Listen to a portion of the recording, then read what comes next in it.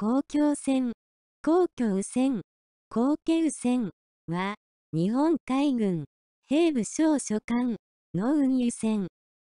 元は西南宮で1860年、万延元年に竣工した木造機船で、豊津藩輸送船だった。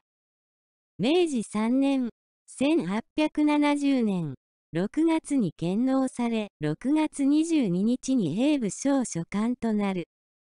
同年7月29日に黒田清宝を護送して北海道へ向かったが、千葉県根津浦で座礁、破壊された。